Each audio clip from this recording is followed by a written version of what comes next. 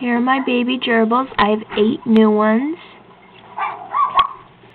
Six of them are going to look like her, and the rest are going to be pure black. Unless they lighten up, because their dad is gray and their mom is tan and white. They're just two days old. Okay, it's okay. This is her third litter, and the last one, the last litter. Goes Monty, you're so cute. Okay, I'm putting her back. It. Can't tell yet if it's a girl or a boy.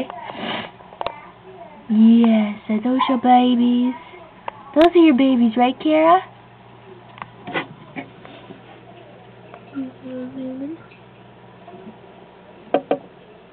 They're cute little babies, don't you? That's their sister. And Daddy is in this cage with the green with all of his sons.